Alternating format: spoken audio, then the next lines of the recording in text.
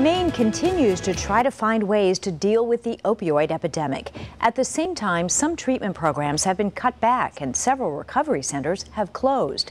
But in Portland, one center is not only going strong, it's expanding. This right here will be the nursing station. Contractors are almost ready to go for an expansion project for the Liberty Bay Recovery Center in Portland, looking to help deal with an ever expanding crisis. The opiate epidemic, uh, as you know, is, is in uh, absolutely in crisis mode uh, now. We're expanding because the need is there. The director of Liberty Bay says it's adding more residential beds to help addicts recover, starting with in house detoxification. It's not comfortable. That's why the only solution for an opiate addict when they're detoxing is to get more heroin.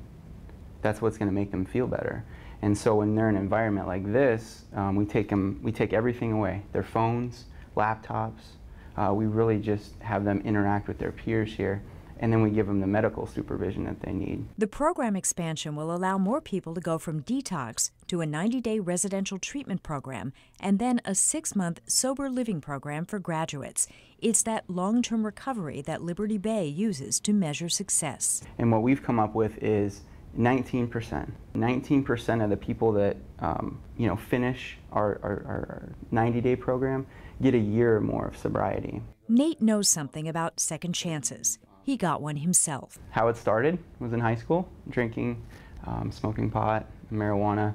Uh, graduated high school, eventually um, graduated to crystal meth. After being arrested several times, Surmel was ordered by the court to a halfway house. He says it saved his life. I'm glad God intervened when he did, because um, literally I didn't choose recovery. I was arrested. And I cho- what I chose was when things got bad enough, um, in you know in my early times that I asked for help. Now he is offering help and grateful for the support that is allowing the program to expand because he knows the power of recovery. Going from a hopeless, you know, drug addict, 110 pounds in a jail cell, detoxing to owning a treatment center with a beautiful son and wife um, and an amazing team of people that have helped almost 200 people. I mean, that's the gift of recovery you know, not, not for me, but for the people we've touched. It's been um, pretty amazing. The treatment program at Liberty Bay is covered by most insurance, although some financial scholarships are available. The center hopes to hold a grand opening for its new 19 bed detox and residential addition next month.